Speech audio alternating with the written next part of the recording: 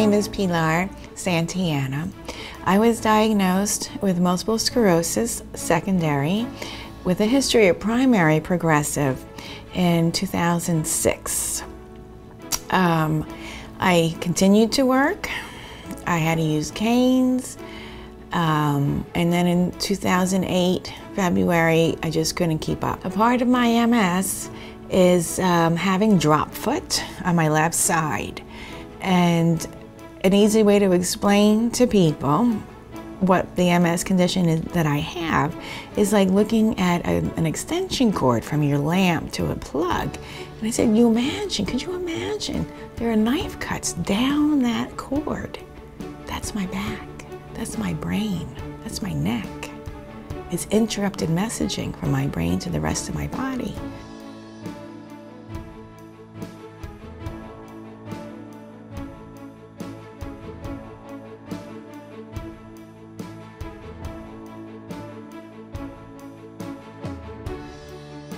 I'm very fortunate to have the experience to participate in the exoskeleton study for eight weeks. So I learned how to correct my posture. I had no idea. I was leaning to the right to compensate for the left leg. My right leg does all the work, truthfully.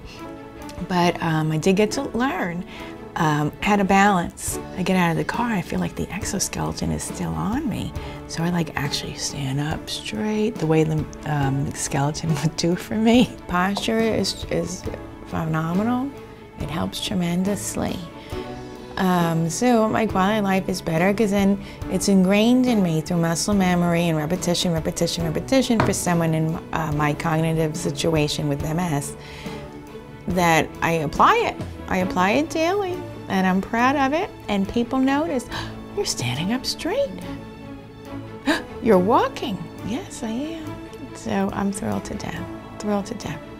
Thrilled to be in the exoskeleton and sad that I didn't have the experience the summer before because what I had done with the exoskeleton, three months of PT could never do.